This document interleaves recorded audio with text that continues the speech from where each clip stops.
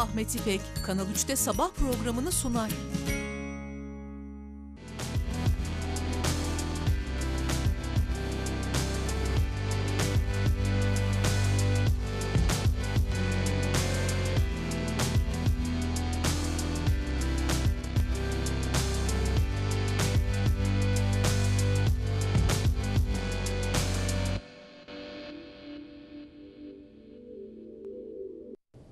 Günaydın efendim. Bugün 12 Mart 2020. Takvim yaprakları 12 Mart 2020'yi gösteriyor. Bugün e, çok önemli bir gün efendim. E, tam 99 yıl önce İstiklal Marşımız bugün kabul edilmişti efendim. Onun yıl dönümü. E, evet, bugün isterseniz o şanlı, şerefli İstiklal Marşımızla başlayalım yine.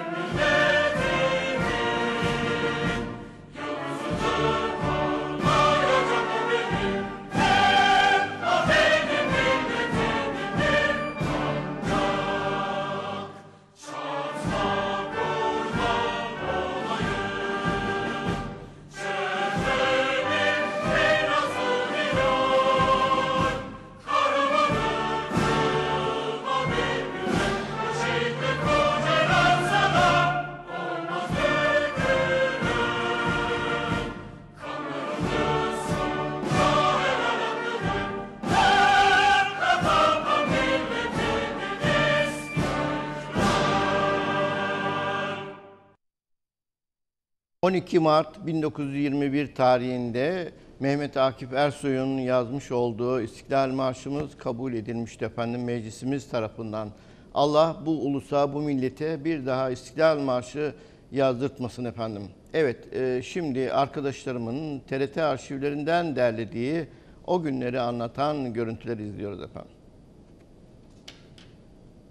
Türk milletinin bağımsızlığı için bu kanlı çarpışmalar sürerken Marif Vekaleti bir milli marş yarışması açtı. Memleketin ve milletin genel durumunu yansıtacak olan bu marş için 500 lira ödül kondu. Yarışmaya 724 şiir katıldı. Devrin Marif Vekili Hamdullah Supi Bey'e göre böyle bir şiiri ancak Mehmet Akif yazabilirdi. Oysa Mehmet Akif kazanana para verileceği için yarışmaya girmiyordu. Hamdullah Supi Bey 5 Şubat 1921 günü Mehmet Akif'e şu mektubu yolladı. Pek aziz ve muhterem efendim. İstiklal Marşı için açılan müsabakaya iştirak buyurmamalarındaki sebebin izalesi için pek çok tedbirler vardır. Zat-ı üstadanelerinin matlup şiiri vücuda getirmeleri maksadın husulü için son çare olarak kalmıştır. Asil endişenizin icap ettiği ne varsa hepsini yaparız. Memleketi bu müessir telkin ve tehiç vasıtasından mahrum bırakmamanızı rica ve bu vesileyle en derin hürmet ve muhabbetimi arz ve tekrar eylerim. Bunun üzerine Mehmet Akif şiirini yarışma jürisine gönderdi. Meclisin 26 Şubat 1921 günkü oturumunda Marif Vekaleti Encümeni gönderilen şiirlerden 7 tanesini yarışmaya değer gördü. Meclisin 1 Mart 1921 tarihli oturumunda Mustafa Kemal Paşa'nın açış konuşmasından sonra Karesi Mebusu Hasan Basri Bey'in ve Marif Vekili Hamdullah Supi'nin İstiklal Marşı ile ilgili olarak verdikleri takrire geçildi. Hamdullah Supi Bey bu görüşmelerde yarışmaya katılan şiirlerden Mehmet Akif Bey'in şiirini tercih ettiğini söylemişti. Meclisin 12 Mart 1921 tarihinde yapılan oturumunda milletvekilleri İstiklal Marşı'nın kabulü konusundaki görüşlerini açıkladılar. Başkan Doktor Adnan Bey. Bugün müzakeresini kabul edenler ellerini kaldırsınlar. Müzakere kabul edilsin. Bursa Milletvekili Muhittin Baha Bey. Söyleyeceğim sözlerin yanlış anlaşılmamasını teminen bir husustan bahsedeceğim. Milli marş ilan edildiği vakit ben de mim imzasıyla bir marş yazmıştım. Musabakadan sarfı nazar ediyorum. Kütahya Milletvekili Besim Bey. Şiirlerin hakikisi halk arasında yaşar. Ismarlama olanlar yaşamaz. Bizim Cezayir marşımız müsabaka ile yazılmamıştır. Arada bir kuvvetli şiir olsun diye Mehmet Akif Bey'e yazdırdım. Çankırı Milletvekili Hakkı Tevfik Bey. Marif encümeni icabına bakmalıdır. Meclise taalluku yoktur. Bolu Milletvekili Tunalı Hilmi Bey. Mesele mühimdir. Bu şiir milletin ruhunda doğmamıştır. İstimal olunmamalıdır. Israr ediyor. Bir encümeni edebiye havale edilmelidir. Başkan Doktor Adnan Bey. Trabzon mebusu Celalettin Bey bir istiklal marşı yazmış. Okuması için takrir var. İzmit Milletvekili Hamdi Namık Bey. Bu meclis işi mi, encümeni edebi işi mi? Şiir ve sanat meselesidir. Bir encümen teşekkül etsin.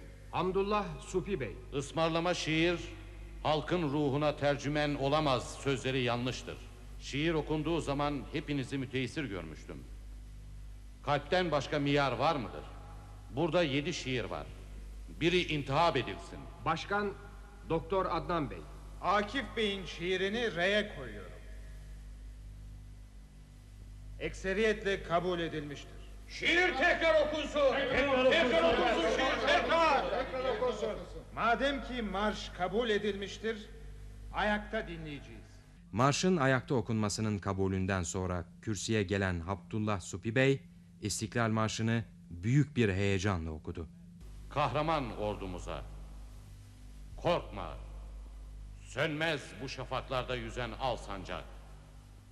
Sönmeden yurdumun üstünde tüten en son ocak. O benim milletimin yıldızıdır parlayacak. O benimdir. O benim milletimindir ancak.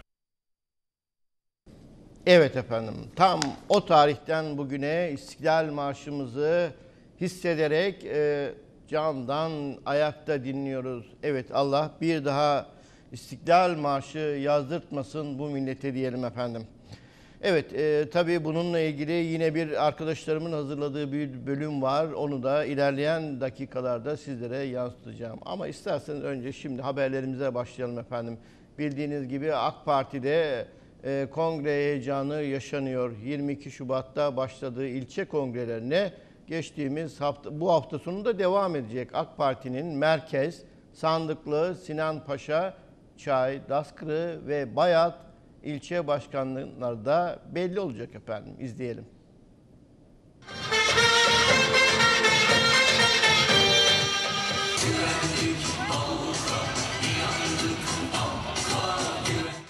AK Parti ilçe kongrelerini sürdürüyor. Geçtiğimiz hafta Sultan Dağı, Emirdağ ve Şuhut kongreleri yapılmış. Teşkilat ve üyelerden yoğun katılım gerçekleşmişti.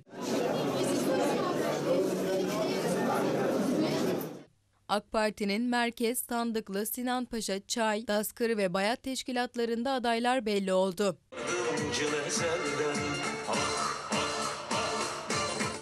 14 Mart'ta yapılacak Çay Kongresi'nde AK Parti'nin adayı Kadir Çetin oldu. Mevcut ilçe başkanı İbrahim Türkkan'ın aday olması beklenmiyor.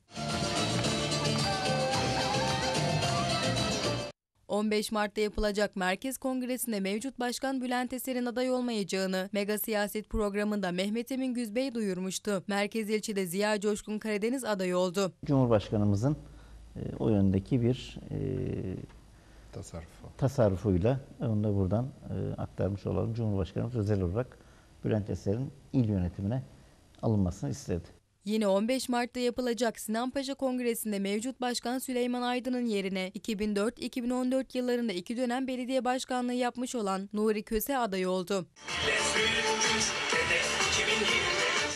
21 Mart'ta düzenlenecek Sandıklı İlçe Kongresi'nde mevcut başkan Bekir Özçelik'in yerine harita mühendisi Osman Işık aday olarak belirlendi. Bu adaylık Cumhurbaşkanı Erdoğan'ın teşkilatlarda mühendislerin artırılmasını istediği iddialarını güçlendirir nitelikte.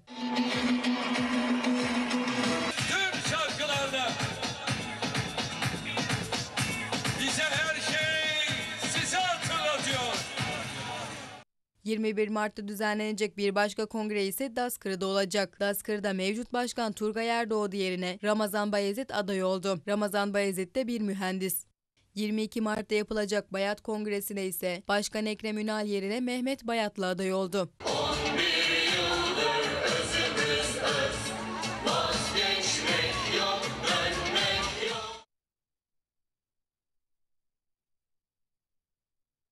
Evet efendim, önceki gece Sağlık Bakanı Fahrettin Koca'nın Türkiye'de ilk koronavirüs vakası tespit edildiği bilgisinin ardından bir flash gelişme Belçika'dan geldi. Belçika'da koronavirüse bağlı bir ilk ölüm gerçekleşti efendim. Belçika Sağlık Bakanı Megi tarafından yapılan açıklamada Brüksel'de tedavi gören 90 yaşında bir hastanın koronavirüs nedeniyle yaşamını yitirdiği belirtildi. Ülkede koronavirüs bulaşan kişi sayısı 267'ye yükselmişti.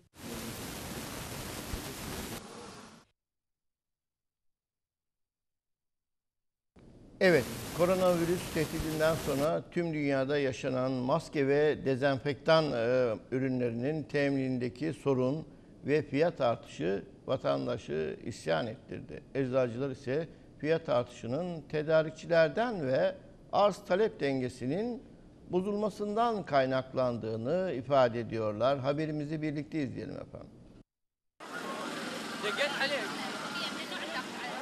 Afyonkarahisar Eczacılar Odası Başkanı Melih Köken, kamuoyunda yaşanan tartışmalara dair açıklama yaptı.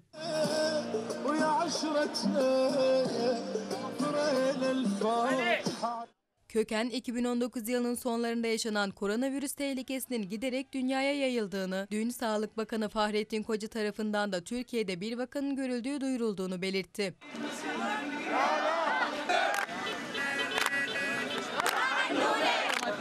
Afyonkarahisar Eczacılar Odası Başkanı Köken, Türkiye'de virüs görülmesinin salgın anlamına gelmediğini söyledi. Bakanlığın virüse karşı aldığı önlemlerin örnek olduğunu aktararak fiyat artışları ile ilgili şunları dile getirdi.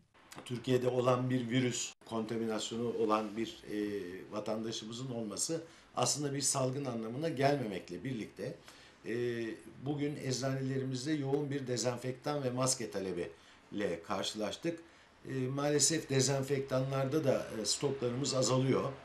Eczanelerde fahiş fiyat uygulandığı yönündeki iddialara da cevap veren Köken, eczanelerin yarı resmi devlet kurumları olduğunu belirterek şöyle konuştu. Ancak e, maske stokları eczanelerde bitmiş durumda ve yeni maske tedariğinde sorun yaşıyoruz. Bu virüsün tüm dünyaya yayılmasından itibaren e, nedenini bilemiyoruz ama belki ihracatın çok dışarıya yapılmasıyla ilgili e, bir e, maske tedariğinde eczaneler sorun yaşıyor. E, eczanelerde fahiş fiyatla ne maske ne el dezenfektanı ne de e, ateş ölçerin satılması zaten söz konusu değil.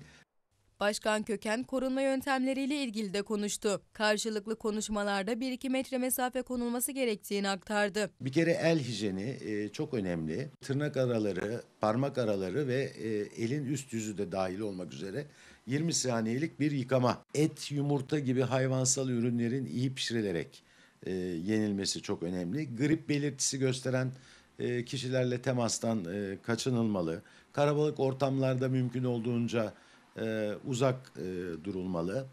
Köken %70 alkol içeren kolonyalarında hijyen açısından faydalı olduğunu aktararak şunları söyledi. %70 e, alkol içeren e, kolonyada e, ellerin e, kontaminasyonu önlemek, dezenfekte etmek için kullanılabiliyor.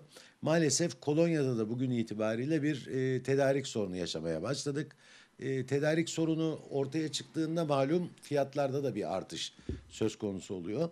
Örneğin biz maskeyi şu an ne kadar bir fiyat verseler dahi bulamıyoruz. Dezenfektanlarda bir fiyat artışı oldu. Teminde, tedarikte. Ee, yine aynı şekilde kolonya temininde de sorunlar yaşıyoruz maalesef. Evet efendim, koronavirüsü artık milleti e, marketlere, eczanelere akın etmeye sevk etti. E, pek çok yerde artık e, şu anda internette görüyorum e, e, makarnanın 15 lira, kolonyanın 100 lira olduğu ifade ediliyor. Tabii haksız kazanç elde edenler var. Evet şimdi de telefon attığımızda Afyonkarahisar Ticaret İl Müdürü Ferhat Sümer var. Sayın Müdürüm günaydın, iyi günler.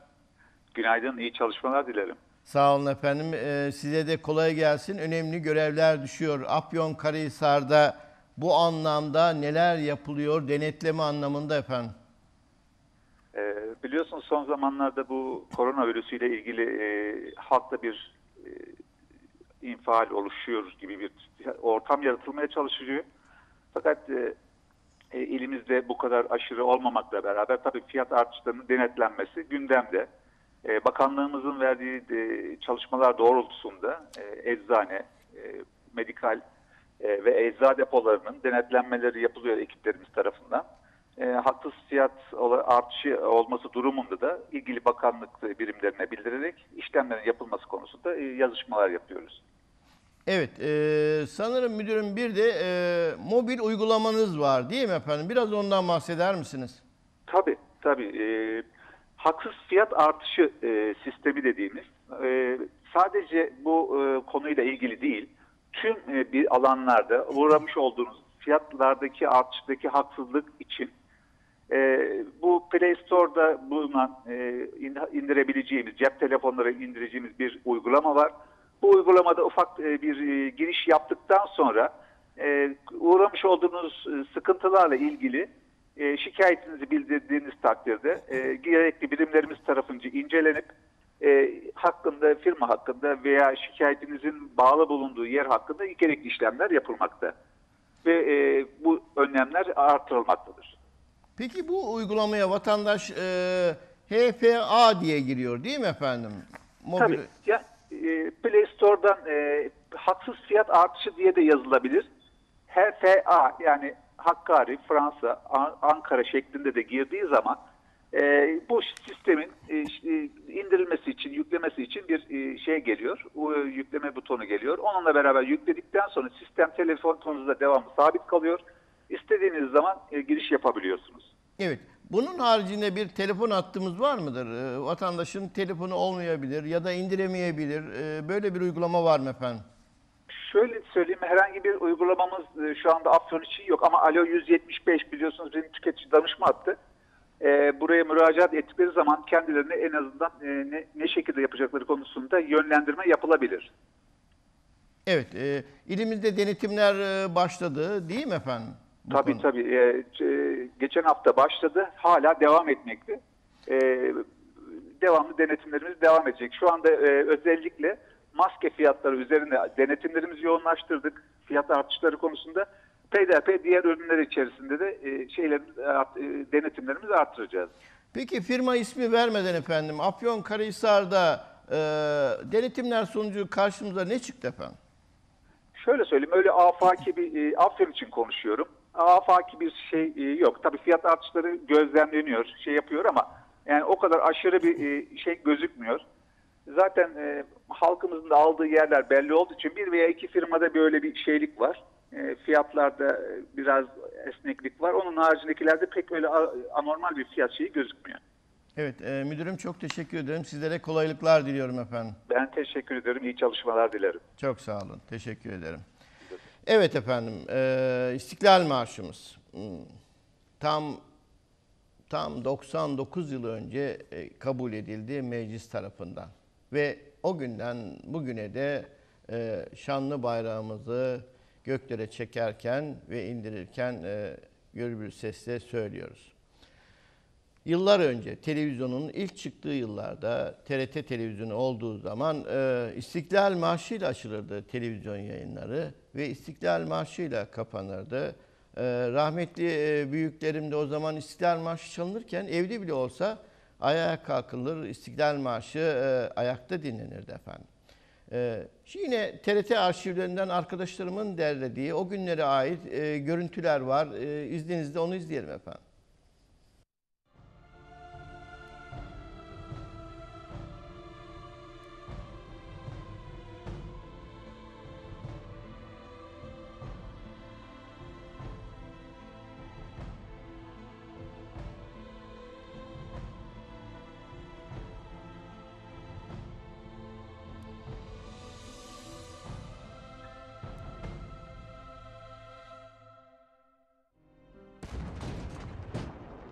Milli mücadelenin ruhunu yansıtacak bir marş yazılması fikri de yine o sıralarda ortaya çıktı. ilk teklif Genelkurmay Başkanlığından geldi. Milli Eğitim Bakanı Rıza Nur'un açtığı yarışmaya 30 kadar eser katıldı. 13 Aralık 1920'de yerine bakan olan Hamdullah Supi döneminde yarışmaya katılan eser sayısı 724'e ulaştı. Ama bunca eserden hiçbirisi yaşanan ruhu mısralara dökememişti.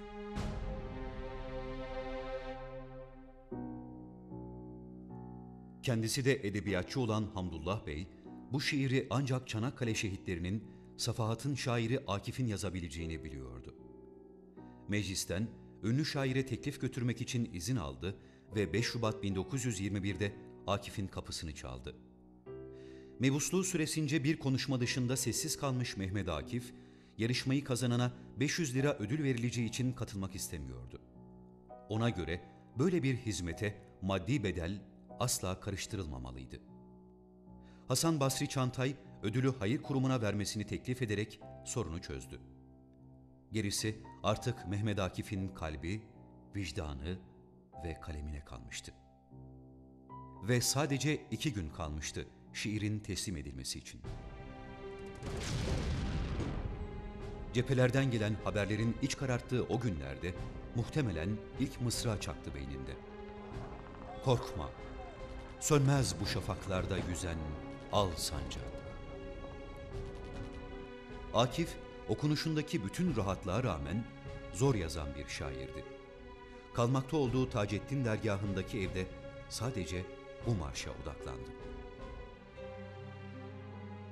Bu şiirde savaş, medeniyet, inanç, maneviyat, gelecek, özgürlük, cesaret, kahramanlık ve umut yer almalıydı ona göre. Büyük bir kompozisyon içinde hepsi yerli yerine oturmalıydı. Ve bütün bunlar söyleyenin, dinleyenin, okuyanın içine işlemeliydi. Sonunda 41 mısralık şiirini bitirmişti. Gelecek nesillere, gençlere çok önem veren, onlar için Asım kitabını yazan şairin İstiklal Marşı'nı ilk dinleyen de ne dinlediğini o zaman anlayamasa da bir kız çocuğu olmuştu.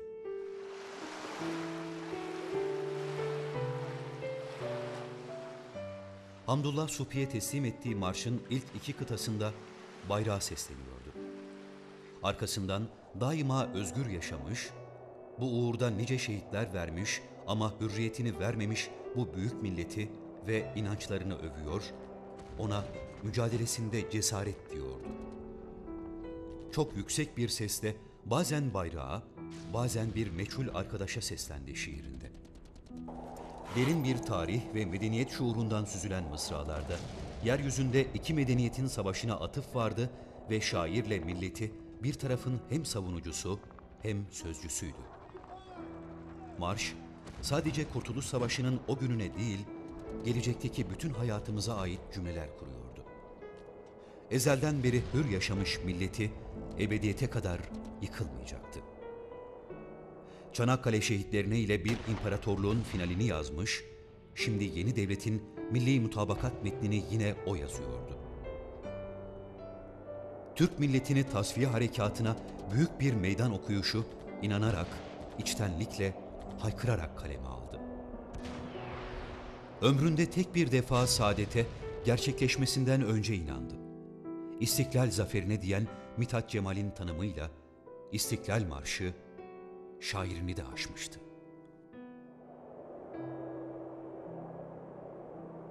Ne vatanı ne bu değerleri düşmana asla çiğnetmeyeceğimizi, çiğnetmememiz gerektiğini vurguladıktan sonra teknoloji üstünlüğüyle saldıran düşmana karşı imanımızın yeteceğini haykırıyordu.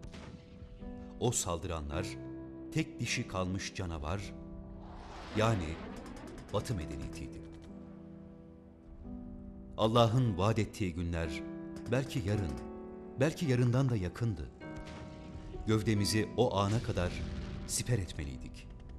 İstiklal Savaşı'nın sonunun zaferle biteceğine iman etmiş şair, beş mısradan oluşan son kıtada tekrar al bayrağa dönerek, onun için dökülen kanların helal olduğunu, bağımsızlığın Allah'a inanan bu milletin hakkı olduğunu vurgulayarak bitiriyordu. İman ve isyan şairi, İstiklal Marşı'nda her iki kavramda da genişlik ve heybette zirveye çıkmıştı. Marşın ithafı kahraman sarmışsa 17 Şubat'ta Sebilur Reşat'ta, 4 gün sonra Kastamonu'da çıkan açık sözde yayınlanan şiir çok beğenildi. Meclisin 12 Mart günkü oturumunda finale kalan 7 şiir vardı. Diğer altısı hiç okunmadan Akif'in yazdığı marş alkışlar arasında okundu ve kabul edildi. hakkıdır hür yaşamış bayrağımın hürriyet, hakkıdır hakka tapan milletimin istiklal.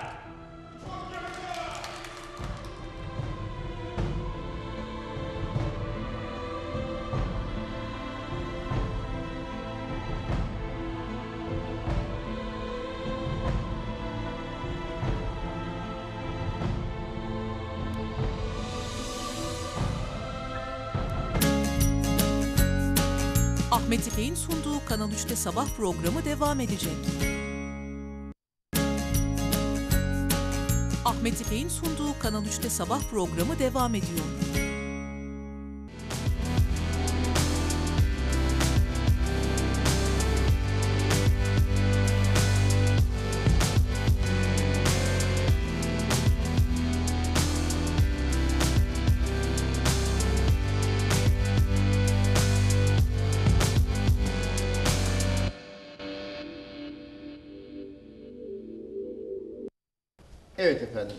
Kanal 3'te sabah devam ediyor. Şimdi özel konuğumun olduğu özel bölüme geldik efendim. Koronavirüs. Onunla yatıyoruz, onunla kalkıyoruz. Hatta marketleri bile, market raflarını bile o yüzden boşaltıyoruz. Ee, evet, Afyon Sağlık Bilimleri Üniversitesi enfeksiyon hastalıkları uzmanı diyor- diyorum. Ben kısaltıyorum. Uzun bir e, tanımı var. Profesör Doktor Neşe Demirtürk stüdyo konuğum. Hocam hoş geldiniz. Hoş bulduk.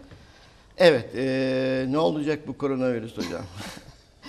Evet, koronavirüs tüm dünyayı da ülkemizi de e, çok meşgul eden en gündemdeki konu sanıyorum. Evet, e, aslında bu virüs nedir hocam? Yani grip gibi, nezle gibi diyoruz. E, gripte de bazı zamanlar ateşlenebiliyoruz. Böyle ateşlendiğimiz her vaka e, bunun içerisine girer mi? Yok öyle düşünmeyeceğiz. Aslında koronavirüsler insanlarda da üst solunum yolu enfeksiyonu yapan etkenler. E, bu yeni ortaya çıkan bir tür. E, zaten insanda hastalık yapan bildiğimiz e, dört çeşit bir koronavirüs var. Her yıl biz bunlarla zaten öksürük, hapşırık, işte ateşle geçen tablolar geçiriyoruz. Ama bu e, yeni ortaya çıkan e, Aralık 2019'da Çin'de birkaç vakada önce tanımlanan sonra da çığ gibi büyüyen yeni bir koronavirüs türü. Koronavirüslerin özelliği insanlar dışında hayvanlarda da enfeksiyon etkeni olabilmeleri. Özellikle yarasalar bu virüsler için e, rezervuar oluyor. E, Yarasadaki virüsün yapı değiştirip insana bulaşabilme özelliği kazanması e, farklı salgınlar oluşmasına neden olabiliyor. Geçmişte de yaşadık hatırlarsınız. Evet. SARS, MERS e, bunlar da koronavirüsle oluşan salgınlardı. Şu an gündemdeki salgında yeni bir koronavirüs türünün insana bulaşma özelliği kazanmasıyla ortaya çıktı. Ee, Bunun özelliği e, bütün dünyaya yayıldı. Dün akşam Dünya Sağlık Örgütü artık pandemi ilanı yaptı e, salgınla Nedir hocam ilişkili. pandemi dediği? Ben izleyicilerimizin anlaması açısından sormak istiyorum. Pandemi kıtalar arası yayılım gösterebilen ve büyük kitleleri etkileyen e, yeni tanımlanmış bir virüsle ortaya çıkan bir enfeksiyon salgını diye basitçe tanımlayabileceğimiz bir tablo. Artık hemen hemen bütün kıtalarda dünyanın birçok ülkesinde e, var. 130'a yakın ülkede hastalık tanımlandı. Biz e, başından beri iyi yöneten e, ve sıkı önlemlerle hastalığın ülkesine girişini çok geciktirmiş ülkelerin başında geliyoruz.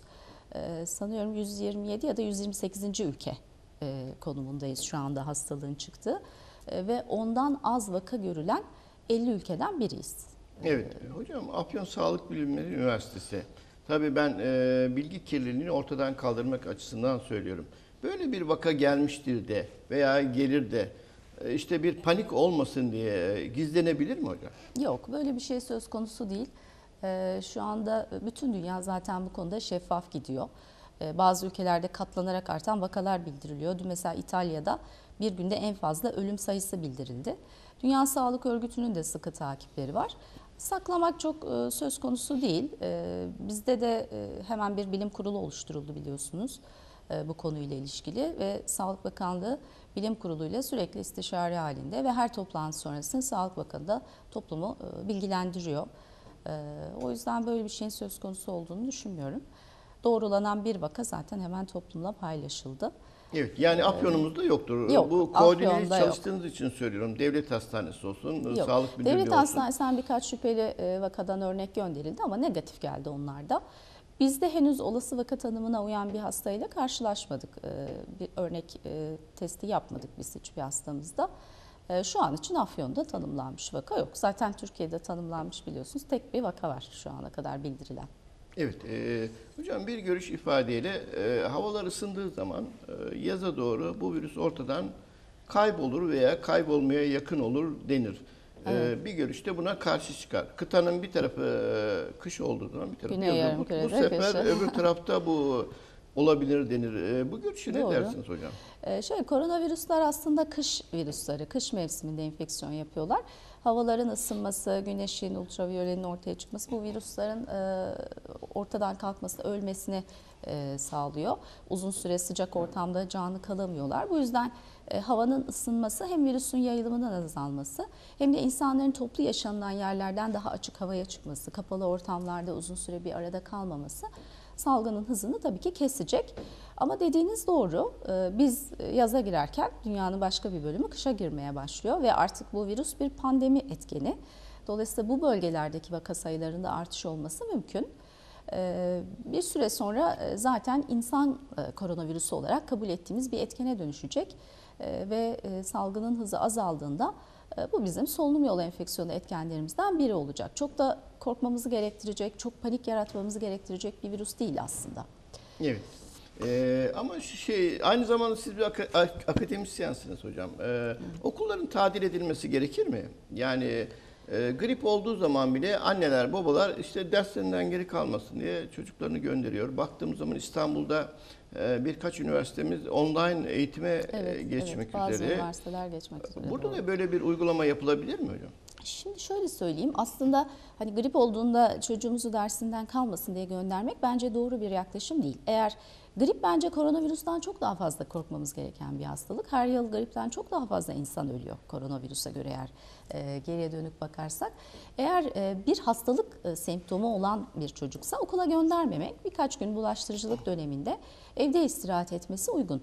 E, Şimdi koronavirüs salgını için okulların tatili konusu e, tartışmalı bana göre. Henüz bilim kurulundan da net bir e, karar çıkmadı. Şu ana kadar bildirilen vakalarda 14 yaş altında hastalanan çocuk oranı tüm vakaların binde biri kadar. Çok ağır hastalık geçiren sadece şu ana kadar bildirilmiş bir tane çocuk var. O da e, kemoterapi gören bir çocuk. Dolayısıyla bu virüs diğer e, koronavirüsler ve influenzadan farklı olarak çocuk yaş grubunu aslında çok fazla etkilemiyor. 14 yaş altında çok önemli bir risk yok. O nedenle e, okulların tatil olması e, ne kadar gerekli e, bilemiyorum. Tabii başka parametreler de var. Çocuğu okula götüren aileler var. E, okulun tatil olmasının şöyle bir dezavantajı olabilir. E, bu çocukların e, okula gitmemesi aileler için problem. Nerede kalacaklar? Kreşte mi, evde mi? İşte anne babalar e, izin mi alacak? Yani bir toplumsal e, düzenin işleyişin de e, değerlendirilmesi gereken bir konu. E, bu konu henüz net- netleşmiş değil. Bana göre çocuklar için şu an çok büyük bir risk e, söz konusu değil. Evet. Ee, aslında dediniz grip e, daha tehlikeli dediniz. Kesinlikle grip çok daha tehlikeli ve her yıl gripten e, koronavirüsten daha fazla insanı biz kaybediyoruz aslına bakarsanız. O zaman ben size soruyorum hocam. Aşı kart karşıtı olanlar var. Ee, nasıl bakıyorsunuz aşıya, grip Ee, aşılarına? Sıcak baktığımı söyleyemem tabii ki Evet. aşı karşıtı olan kişilere. Ee, aşı enfeksiyon hastalıkları uzmanlarının en önemli silahı.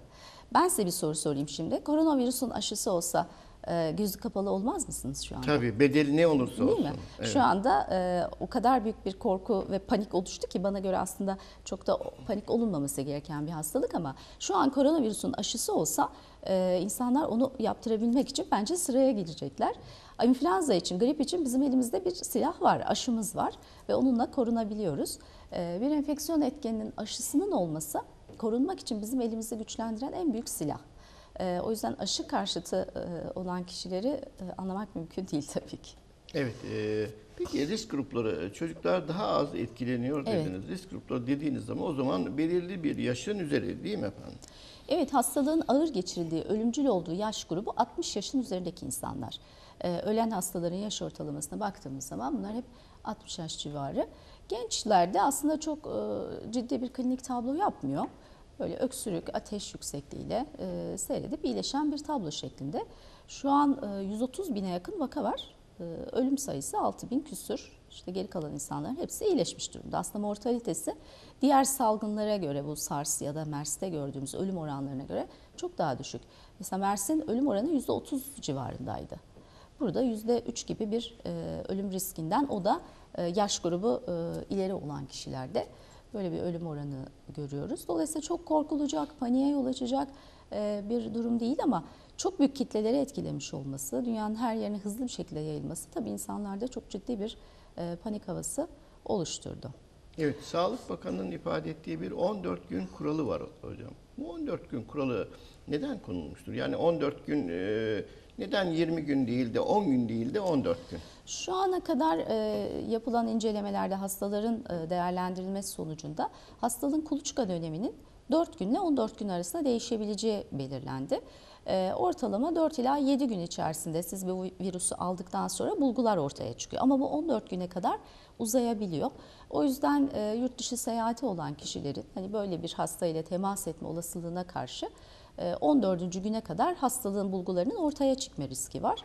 E, Bu nedenle e, yayılımı engellemek için böyle bir e, kural var. E, Şüpheli vakanın çok olduğu yerlere seyahat etmiş kişilerin 14 gün kadar evinde istirahat etmesi önerisinde bulundu Öneriliyor. Sağlık Bakanı.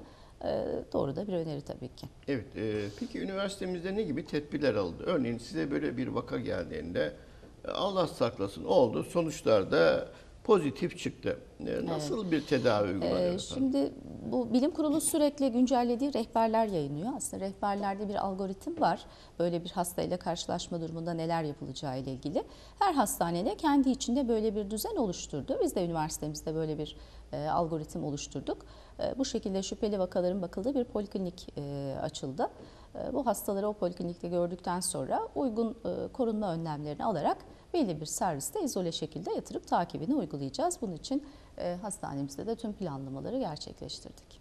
Evet, e, öyle durumlarda tabii personeliniz de risk e, grubunda oluyor mu hocam?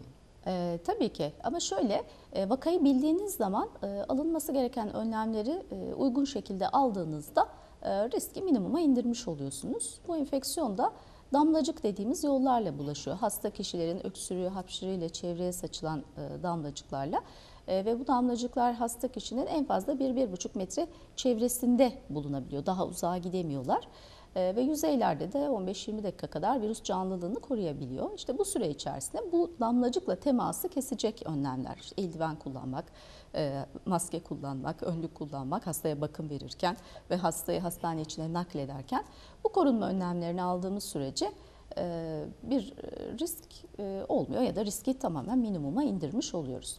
Evet, e, bu sizin alacağınız önlemler. Peki vatandaş dediniz, eldiven dediniz, maske dediniz. Nasıl bir eldiven? Örneğin e, ben e, bir bankanın, e, Afyon'da değil e, İstanbul'da bir bankanın şube çalışanları e, eldivenle çalışıyor e, bilgisayar Yok başında. toplumda bu e, bunları önermiyoruz. Aslında çok gereksiz bir panik var. Sokakta da maskeyle dolaşan birçok insan görüyoruz.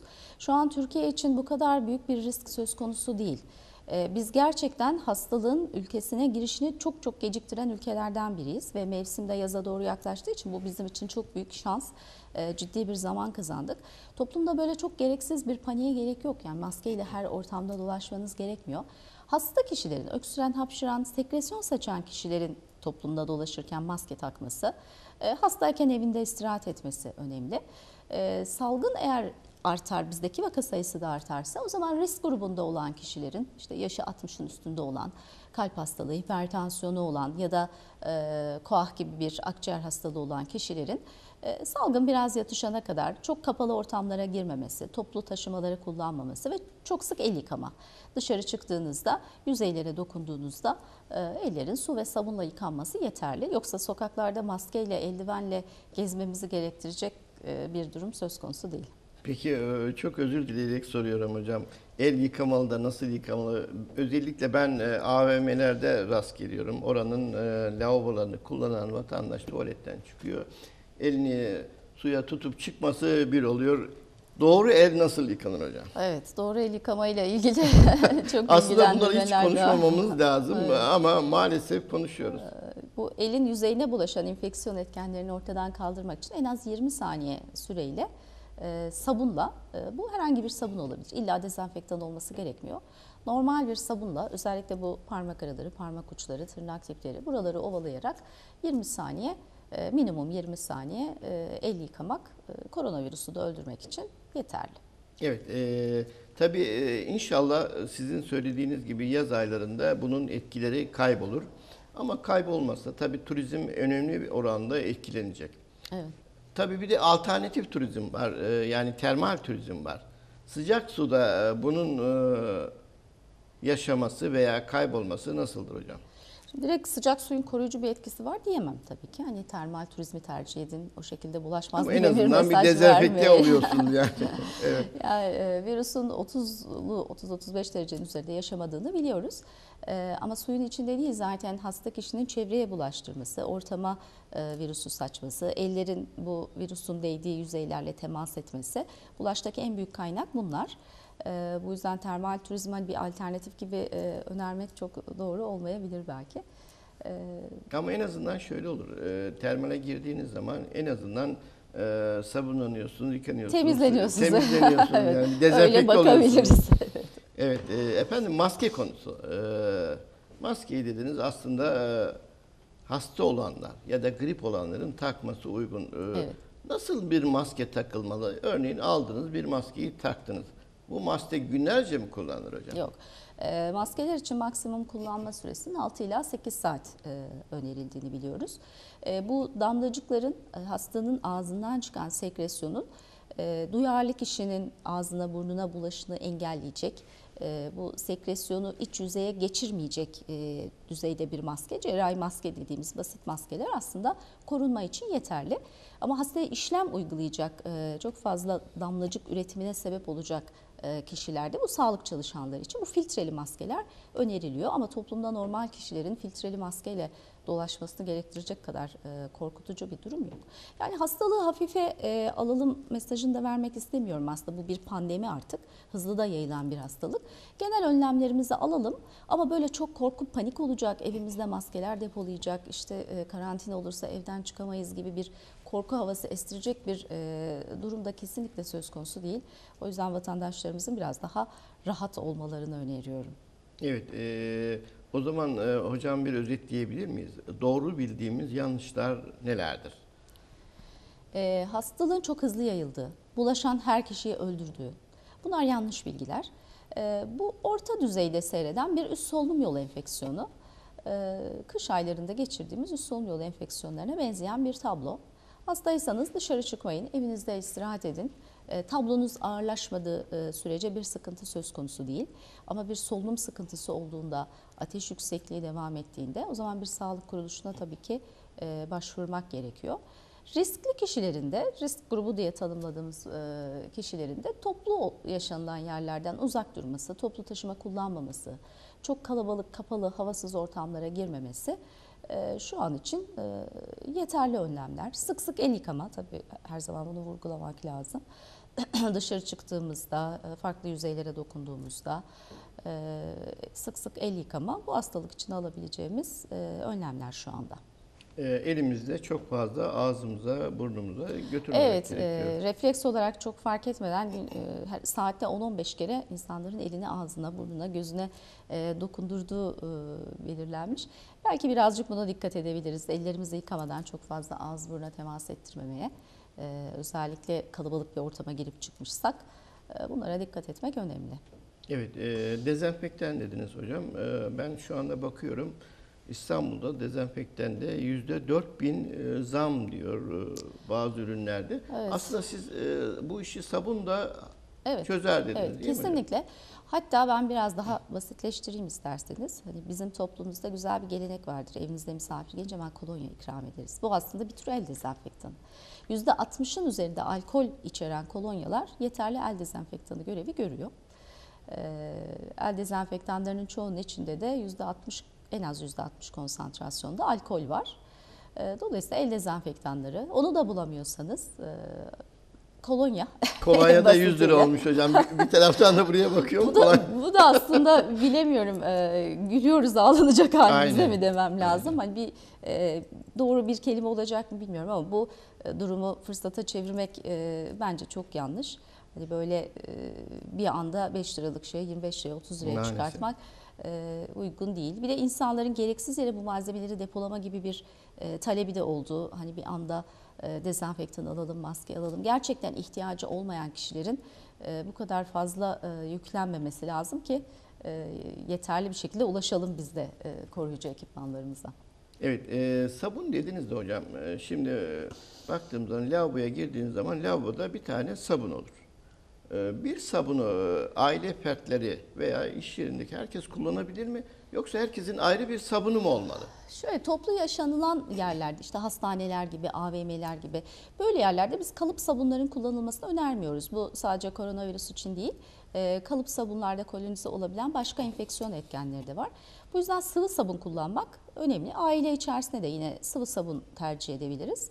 E, Sıvı sabun olduğu sürece aynısını herkes kullanabilir. Tabii onun da e, gerçek olanını değil mi efendim? Tabii. Çok fazla o konuda da taklit ürün var. Evet, kaliteli sabun diyelim. Kaliteli e, sıvı sabun kullanma konusunda. E, hocam e, siz az önce hayvanlarda da olabilir dediniz. Özellikle yarasalar. E, kırsal kesime girdiğiniz zaman e, artık şimdi tam yayla zamanı da başlıyor. E, hayvanların e, özellikle büyükbaş hayvanların, küçükbaş hayvanların e, doğaya e, bırakıldığı zamanlar geliyor. Acaba bunlar risk grubuna girer mi? E, tabii yarasaların da olduğunu düşünürsek. Şöyle, e, bunlar şu an için tabii ki risk grubu değil. E, yarasalar koronavirüslerin e, doğal e, rezervuarlarından birisi. Yani yarasada enfeksiyon yapan koronavirüs türüyle insanda enfeksiyon yapanlar farklı. E, ve bir anda yarasadan insana direkt olarak bulaşmıyor. E, arada başka hayvanlarda virüs bir takım mutasyonlar geçirerek e, insana bulaşabilme, insanı da tanıyabilme özelliği kazanıyor. E, ancak bu mutasyonlar gerçekleştikten sonra hayvandaki bir etken insana bulaşabilir. Mesela e, MERS e, koronavirüs salgınında kaynak e, yarasadan bir deveye, şimdi yarasaların tükettiği bazı gıda artıklarını başka hayvanların tüketmesi, buradan virüsü alması, virüsün o hayvanda bir takım değişiklikler geçirmesi, sonra ondan insana bulaşma özelliği geçirmesi gibi aslında kompleks bir e, mutasyon süreci var. Her, hemen direkt yarasadaki etken insana bulaşır gibi bir yanlış mesaj vermeyelim. Arada başka e, konaklar da oluyor ve virüs bunlarda yapı değiştirerek insana bulaşma özelliği kazanıyor. Çin'de e, şu anda ortaya çıkan e, salgında bu koronavirüsün direkt olarak kaynağının ne olduğu belirlenmiş değil. Ama e, bu vahşi hayvanların da bulunduğu bir canlı hayvan pazarı var. E, ve Çinliler Evet. bu tür hayvanlarla biraz fazla iç içe yaşıyorlar. İşte Yemedikleri yok diyelim. Tüketiyorlar. evet. Dolayısıyla bu mutasyonlar orada biraz daha e, hızlı olabiliyor belki. E, bu yapı değiştirdikten sonra insana bulaşabilen bir etken. O yüzden e, hani doğadaki her şeyden e, korkalım gibi e, bir yanlış mesaj vermiş olmayın. Evet, e, hocam şeyi sormak isterim. Tabii grip olmamak için veya olduğumuz zaman işte vitamin kullanalım. C vitamini alalım, e, eczaneden vitamin alalım veya ek besinler alalım. E, Evet. Sizin bu konuda önerileriniz ne olur hocam? Ee, koronavirüse özel koruyucu bir şey yok. İstediğiniz kadar portakal, zencefil, nane, limon tüketin. Vücut direncini Sizi korumuyor. açısından. Genel olarak bu bütün enfeksiyon hastalıkları için geçerli. Ne kadar güçlü bir bağışıklığınız varsa, vücut direnciniz ne kadar iyiyse özellikle viral enfeksiyonlardan o kadar fazla korunuruz. Ee, özellikle de bu üst solunum yolu enfeksiyonu yapan, kış aylarında etken olan influenza, rinovirüs, koronavirüs gibi birçok etken var. Bunların hepsine karşı e, vücudun bağışıklığı tabii ki önemli. E, dengeli ve sağlıklı beslenme, işte vitamin e, takviyesinden ziyade doğal kaynakla meyve sebzeyle dengeli bir beslenme, iyi bir uyku, işte düzenli egzersiz, kendimize ne kadar iyi bakarsak, ne kadar sağlıklı ve dinç olursak bu etkenlerin hepsine karşı o şekilde e, korunabiliriz. Ama e, özellikle koronavirüs için şu destekleri alırsanız bu sizi tamamen korur gibi bir şey yok ne yazık ki. Evet e, hocam sosyal medya çok iyi olduğu kadar çok da tehlikeli. Evet, Şu anda mesela öyle. bir tweet atılıyor işte AVM'ler kapatılmalı diyor. Ee, Böyle bir şimdi şey olabilir mi? Bunlar çok radikal öneriler. Şimdi toplumda bu ta- e, tarz şeyler yapmak toplumsal yaşamı da çok etkileyecek şeyler. Dolayısıyla e, mortalitesi yani öldürme e, olasılığı bu kadar düşük olan bir virüste ve hedef kitlesinin belli risk grubu olduğunu düşünürsek e, bunları kapatmak, e, yaşamı tamamen izole bir hale çevirmek tam bir çözüm değil. E, Zaten önümüzdeki 3-4 yıl içerisinde bu virüsle dünya virü- nüfusunun neredeyse %50-60'ının etkilenmesi bekleniyor.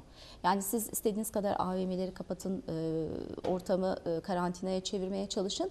Virüs bir şekilde dünyanın yarısını zaten birkaç yıl içerisinde enfekte edecek. Ve bir süre sonra e, diğer üst solunum yolu enfeksiyonları ara- etkenleri arasına girecek ve biz birkaç yıl sonra bu kadar korkmayacağız bu virüsten. Şu dönemde e, hızlı yayılımı engellemek için bir takım önlemler alınıyor. Ama tamamen AVM'lerin kapatılması, işte her yerin tatil edilmesi, yaşamı durdurmak e, bunlar çok abartılı önlemler. Ben bu kadar fazla şeye gerek olduğunu düşünmüyorum. E, Ama e, 65 yaşında koahlı bir anneniz, babanız varsa onu AVM'ye götürmeyin. Tabii. Bu şekilde önlemler alarak e, risk grubu olan e, kişilerde biraz daha koruyucu ve temkinli yaklaşarak e, salgını bu şekilde kontrol etmeye çalışmamız daha uygun geliyor bana. Evet hocam ben son bir dakika içerisindeyim. Son mesajınızı alayım. E, reklama gideceğim hocam. Ee, koronavirüsten çok fazla korkmayalım. Bu salgın toplumumuzda gereksiz bir panik havası estirmesin. Ee, çok da rahat olmayalım. Ee, konuştuğumuz önlemlere dikkat ederek, e, kendimizi olabildiğince koruyarak e, ama çok da izole olup e, korkarak yaşamımızı kabusa çevirmeyelim. Korona ile enfekte olursam e, ne olur gibi bir e, korkuyla yaşamamalarını öneriyorum seyircilerimize. Sık sık el yıkama, dengeli sağlıklı beslenme ve kendimize iyi bakmak şu an için yapabileceğimiz en iyi şeyler. Evet e, biraz da öpüşmeyeceğiz, tokulaşmayacağız. Evet bu samimiyetten e, biz öpüşmeyi, tokalaşmayı, sarılmayı çok seven bir milletiz. Bir süre uzaktan selamlaşmak da e, karşımızdakine sevgimizi ifade edebilir sanıyorum. Evet inşallah onu da unutmayız hocam. Bu bu sefer ona alışmayalım da. evet hocam katılımınızdan dolayı çok teşekkür Ben ederim. teşekkür ederim. Zaman ayırdınız geldiniz. Evet efendim Afyon Sağlık Bilim Üniversitesi'nden enfeksiyon hastalıklarının uzmanlığı Profesör Doktor Neşe Demirtürk stüdyo konuğumdu. Uyarılarını, ikazlarını dinlediniz hep birlikte dinledik daha doğrusu. Ee, evet efendim kısa bir reklam arası reklamlardan sonra yayınımız devam edecek. Kanal işte sabah. Ahmet İpek'in sunduğu Kanal 3'te sabah programı devam edecek.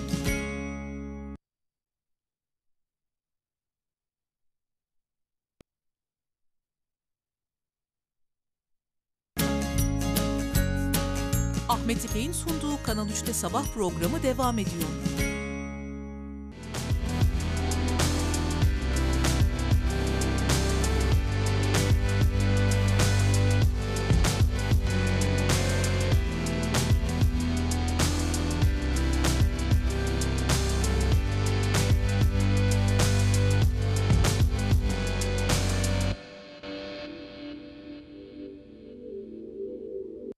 Evet efendim. Kanal işte sabah tümüzüyle devam ediyor. Konuğumu gönderdik. Yeni bir konuk geldi. Türk Eğitimsel Şube Başkanı Nizamettin Şenol. Sağlık ve eğitim olmazsa olmazlarımız. Ee, hocam hoş geldiniz. Hoş bulduk, teşekkür ediyorum. Hayırlı sabahlar, hayırlı, yayınlar sabahlar. diliyorum. Sağ olun hepimiz efendim. Evet Afyon Sağlık Bilimleri Üniversitesi'nden e, Profesör Doktor Neşe Demirtürk sizden önce konuğumdu. Bu koronavirüsü konuştuk. E, neleri doğru yapıyoruz, neleri yanlış yapıyoruz. Dedik acaba okullar tatil olsa daha mı iyi olur dedik. Kendisinin şu an için e, endişe verecek bir durum olmadığını, paniğe gerek olmadığını, gerekli adımların Sağlık Bakanlığı tarafından e, düzenli bir şekilde atıldığını ifade etti. Siz bu konuda neler söylersiniz? Okullar tatil edilmeli mi? Teşekkür ediyorum. Öncelikle bugün 12 Mart. İstiklal Marşımızın kabulünün 99. yıl dönümü. Evet. Mehmet Akif Ersoy'u rahmetle anıyorum. Allah bu millete bir daha İstiklal Marşı yazdırmasın diyor. Aynen. İnşallah yazdırmasın. Aynen. Biz de Ülkemiz sabahleyin sıkıntılı. programımızı, e, İstiklal Ülkemiz- Marşımızda açtık. Ülkemiz sıkıntılı bir dönemden geçiyor. e, geçmiş dönemlerde de geçmiştir. Yüce Türk milleti birlik ve beraberlik içerisinde bu sıkıntılı dönemleri de atlatacaktır diyorum. E, dünyada Çin'den başlayıp dünyaya yayılan bu e, koronavirüsle ilgili Türkiye Cumhuriyeti Devleti yapması gerekeni e, Sağlık Bakanlığı vasıtasıyla yapmış ve kamuoyunu da zaman zaman bilgilendirmiştir. Okullarımızda da bu konuyla ilgili çalışmalar yapılmış, bilgilendirmeler yerine getirilmiştir. Burada dikkat edilmesi konu şudur. İşte fiyatların yükseldiği, yukarı doğru çıktığı, bununla ilgili bir panik ortamı oluşturulmaya çalışılmaktadır. E, bu e, öyle ya da böyle ülkemizde de gelecek. Bunu e, abartmadan, milleti kalayana getirmeden, fiyatlarımızı yükseltmeden, Tüketimi teşvik tabii ki, etmeden. Tabii ki, tabii ki ülkemizin her konuda birlik ve beraberliğe ihtiyacı olduğu bu günde bunu da birlik ve beraberlik içerisinde Sağlık Bakanlığı'nda dönem dönem zaman zaman ihtiyaç duyuldukça kamuoyunu doğru bilgilendirmesi gerektiğine inanıyoruz. Ve onu da yapıyor. Onu da söyledi zaten. Bu da böyle olunca, e, bilgiler doğru olunca Türk milleti kanaatkardır. Ama bilgileri saklarsanız e, o zaman sıkıntı çıkar diyorum. Okulların kapatılması gibi bir durum ülkemizde olduğuna e, şu anda inanmıyorum. Yapılan açıklamalar neticesinde yapılan yetkililerin açıklamasına riayet etmek lazım. Evet, doğru efendim. Evet, e, Türk Eğitim Sen eğitim için neler yapıyor hocam? Türk Eğitim Sen, eh, Türkiye'nin sendikası diyoruz. Neden? Türk Eğitim Sen ve Türkiye Kamu Sen, Türkiye'nin her yerinde aynı söylemleri yaptığı için Türkiye'nin sendikasıyız. Bizim ilkemiz önce ülkemiz. Türkiye sevdamız ekmek için kavgamız. Ekmek kavgamızı Türkiye sevdamızın sonuna koymuşuz. Türkiye varsa ekmek için kavga edeceğiz. Türkiye yoksa neyin kavgasını Tabii. vereceğiz? Evet. İşte son dönemlerde bir sözleşmeli öğretmen atamaları yapılıyor, yasalaştı. Yani sözleşmeli köleliğe son diye de bir kitapçık hazırladık. İşte sendikamızın bu süreç içerisinde neler yaptığını öğretmen arkadaşlarımızla kamuoyuyla paylaşıyoruz. Bunların dışında e, iki hafta önce herkese yıpranma payı var. 360 günün 90 gününü öğretmenlerimize yıpranma payı olarak yasalaşması için kanun teklifi hazırlayıp verdirttik. İnşallah Türkiye Büyük Millet Meclisi'nden geçer. Gündemden düşmeyen kamu çalışanlarına şiddet her alanda. Öğretmene de aynı şekilde şiddet var. Yine bunun gündemden düşerek Türk Ceza Kanunu'na hem sözlü hem fiili net ifadelerle yazılarak karşılığında uygulayanların hangi cezayı hangi sürelerce alacağını belirten kanun teklifini de hazırlayıp ortaya koyduk. Yine işte öğretmen meslek kanunu var. Çıkması istenen 2023 vizyon belgesinde de belirtilmişti. Bununla ilgili de kanun tekliflerini hazırlayarak Türkiye Büyük Millet Meclisi'ne sunduk. Özellikle 3600'de var. E şunu da açıkça belirtmek lazım. Sayın Cumhurbaşkanımız bir buçuk yılı geçti. 3600 ile ilgili e, kamuoyuna seçim döneminde söz verdi. Özellikle Adalet ve Kalkınma Partisi milletvekillerinin Sayın Cumhurbaşkanı'nın sözünü yerde bırakmayacaklarına biz inanıyoruz. Diğer milletvekillerimiz de bunlara destek vereceği kanaatindeyiz. Evet e, hocam şimdi gelelim e, ne derler e, neyse demeyeyim de eğitim bir senin e, kaymakamlara yönelik bir açıklaması oldu. E, Sultandağ Kaymakamı arkasından e, İhsaniye Kaymakamı e, sendikanın okul müdürünün hakkındaki soruşturma dosyasının kapatılmasını istediğiyle ilgili e, kaymakamımızın e, bir basın açıklaması oldu. Olayın örtbas edilmesini istedikleri, hatta müfettişlerin e, bu konuda görev yapmamasıyla ilgili e, tabii bu konuda bu ekranlarımız e, size olduğu kadar eğitim bir senede açık. E, ama daha önce ben e, sendikamızın başkanını davet ettim. E, mazeret bildirdiler, katılmadılar. Ee, sizin bu konuda görüşünüz nedir? İhsaniye'de neler oluyor? İşin aslı nedir hocam? Şimdi e, 6 3 2020 tarihinde Eğitim Birsen Birinoğlu Şube Başkanı bir basın açıklaması yaptı. Ne dedi Uzun burada? uzun uzadıya e, 28 Şubat sürecini hatırlatan uygulamalar yapıldığını, bu süreç içerisinde de kaymakamların ve kolluk kuvvetlerinin e, bunlara karıştığıyla ilgili e, basın açıklaması yaptı. Şimdi bunun üzerindeki en önemli etken neydi? Kılık kıyafet. Şimdi kılık kıyafetle ilgili e, 2012 yılında Milli Eğitim Bakanlığı işte tek kıya- kıyafet, tek düşünceye sahip insanlar yetiştiriliyor. Onun için de e, bu öğrencilerin, ilkokul, ortaokul, lise öğrencilerinin kıyafetlerinin tek tipten çıkarılıp bir düzenleme yapılması istendi. Bu neticede de 2012 yılında e, bu yönetmelik çıkarıldı. Biz o zaman şunları söylemiştik. Madem ki öğrenciler tek tip kıyafetle tek tip, düşün, tek tip düşünceye sevk ediliyorsa kamu çalışanlarında da kıyafet serbestliği getirilecekse e, bu sürekli söylenip duruldu. Aradan 11 yıl geçmiş o dönem içerisinde. Siyasi iktidar da buna e, söz vermiş. Diğer siyasi iktidarların çoğunu da destekliyor. Bunu ne yapmak gerekir? Ortadan kaldırmak gerekiyordu. Bunu yapınca biz de daha önce de kamuoyuna sürekli açıklamalar yaptığımız gibi e, kamuda kılık kıyafet serbestliğinin getirilmesini istedik. 2013-2014 eğitim öğretim yılında bakanlık bu uygulamayı geçince bizim de söylemlerimiz bakanlık tarafından e, yerine getirilmeyince e, 15-3-2013 tarihinde biz kılık kıyafetle ilgili bir eylem kararı aldık. Yani kamu kurum ve kuruluşlarında çalışan personelin kıyık kılık kıyafetine dair yönetmenin 5. maddesindeki hükümlerin sınırları olmaksızın milletimizin değer yargılarına uygun kamuda çalışan bayanların başörtülü, erkeklerin krafatsız, süresiz olarak e, çalıştıkları kuruma gitmesiyle ilgili bir karar aldık. Bu süreç içerisinde de bir sürü açıklamalarımız var. İşte Kur'an-ı Kerim dersinin e, seçmeli olması, İmam Hatip e, okullarının orta kısımlarının açılması, İmam Hatip'teki e, o, okuyan e, kız çocuklarının başörtüsünün örtmesi, Kur'an-ı Kerim derslerinde başörtü örtülmesi gibi düzenlemelerin hep yanında olduk, açıkladık. Yüce dinimizi istismar etmeden bu taleplerimizi yerine getirdik. Ama gelin görün ki 2000 e, bu kıyafet eylemimizden sonra e, Milli Eğitim Bakanlığı 8-10-2013 tarihindeki resmi gazetede kılık kıyafet düzenlemesi yaptı. Sadece e, kamuda çalışan bayanların başörtüsüyle çalıştıkları kuruma gidebileceklerini ortaya çıkardı. Yani bizim beklentilerimizin dışında, bizim haklı taleplerimizin dışında bir yönetmelik yayınladı. E bu yönetmelik de bizim istediklerimizi yerine getirmiyordu. Hala bayan öğretmenden işte ayaklarına ne giyeceğiyle ilgili bölümler durmaktadır. Erkeklerle ilgili de kravattır, diğer konularla ilgili hiçbir düzenleme yapılmadı. Biz bununla ilgili eylem kararı aldık. Eğitim Birisiyen ise sivil itaatsizlik dedi. Sivil itaatsizlik yanlış bir kavram. Şimdi her çıkan konuda sivil itaatsizlik olursa olmaz. Koronavirüsü geldik dedik mi? Ulul emre itaattır.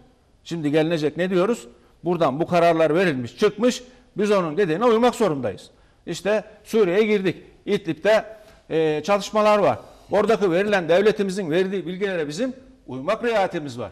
Ama siz şimdi bunu tutar, yanlış olanlarla ilgili eylem kararı yerine sivil itaatsizlik kavramını yerleştirirseniz Türkiye Cumhuriyeti Devleti'nin yasalarını sivil itaatsizlikle uygulamaya halkı karşı karşıya getirirsiniz. Şimdi bizim beklentimiz ülkeyi yönetenlerin bu kılık kıyafet karmaşasını ortadan kaldırması gerekmektedir. Hocam İhsaniye gel. 7 yıl O- geçti. evet, Şimdi bunu İhsaniye'ye gel. Orada İhsaniye ne oluyor? Okul müdürü ne yapıyor orada? Buraya geçmeden önce de Sayın Valimiz okullar dolaştı. Bununla Evet. ilgili hatırlarsınız. Kamuoyu da oluştu. Fotoğraflarda çekti, belirtti. Bir anlamda baktığımızda fotoğraf çekiyoruz, yapıyoruz ya. Öğretmenleri, kamu çalışanları fişleme gibi olur. Diğer taraftan da biraz evvel sıraladığım süreç içerisindeki yerin düzeltilmesi bakımından eee, hükümete destek niteliği de olabilir. Bununla ilgili çalışmalar yapılmıştır. Kaymakam da gezdiği okullarda bununla ilgili telkinlerde bulunmuştur. Kılık kıyafetle ilgili gördüğü yerlerde. Açıklamalardan bunu bekliyoruz. Ben Eğitim Birsen Şube Başkanı'na şunu sormak istiyorum. Biz de destek verelim. Eğer bu uygulamalar varsa. Şimdi İhsaniye ilçesi kaymakamının 28 Şubat'ı hatırlatan hukuksuz uygulamalar nelerdir? Var mı? Getir, var mı? Bunları net ifadelerle ortaya e, ifade etmesi lazım. Kaymakamlığın açıklamalarından sonra. Net ifadelerle. Eğer haklıysa sonuna kadar destekçisiyiz. Ve yapılan yanlışlar neyse düzeltilmesi için elimizden geleni yapacağız. Hangi okullara gidilip hangi eğitim çalışanlarına karşı kılık kıyafetle ilgili rapor tutulmuştur? Fişleme yapılmıştır. Bunları tek tek açıklamalar gerekmektedir. Muğlak ifadeyle değil. Yapıldıysa. Yapıldıysa tabii ki. Yapıldıysa bunları tek tek hangi eğitim çalışanlarına, hangi kurumda, hangi kişilere yapıldığını tek tek açıklamalar gerekmektedir. Hocam şimdi size şurada şunu sorayım. Ee, ben size buraya gelirken e, hocam kravat takın, ceket takın, e, yakanızda Türk bayrağı olsun herhangi bir şey söyledim mi? Hayır. Peki e, öğretmen nasıl olmalı? Orada bir e, İhsaniye bir es geç. Öğretmen dediğin zaman, doktor dediğin zaman sınırsız özgürlük diyorsunuz. E, sınırsız hiçbir şey olur mu hocam? Basın e, işte özgür olsun. Her şeyin bir e, kaidesi, kuralı vardır. Doğru söylüyoruz, doğru söylüyorsunuz. Milletin değer yargılarına ters düşmeyen. Şimdi dediğimizde belli yani nelerin olacağı. Şimdi öğretmen rol modeldir. Biz elimizden geldiği kadarıyla bunu düzeltmemiz lazım. Yine burada eğitim çalışanlarında da sorun yok. Aradan 2013, 2020, 7 yıl geçmiş eylem yapıyoruz. E, idare de ne yapması gerekir? Bu yaşanan sıkıntıları, kamudaki kargaşalığı gidermesi lazım. Hani geriye dönemeyiz. Artık yaşanan bir fiili durum var. Bu fiili durum içerisinde net ifadelerle yönetmelikler belirlenmeli. Bu kurumlar arasındaki çatışmada ortadan kaldırılmalıdır. en büyük sorumluluk basın- yönündedir. Kaymakamın basın açıklamasını nasıl değerlendiriyorsunuz? Kaymakamın basın açıklaması yerinde. Bir sendikacı olarak bakmayın. Ee, bir eğitimci olarak bakın. Ee, neresi yanlış? Ee, okullarımız güvenli olsun diyoruz. Ne diyoruz? Şimdi- Anne baba çocuğunu takip etsin. Bu devlet nerede diyoruz? Okulun önünde neler var diyoruz. Okulun içinde neler oluyor diyoruz. Neden güvenlik yok demiyor muyuz?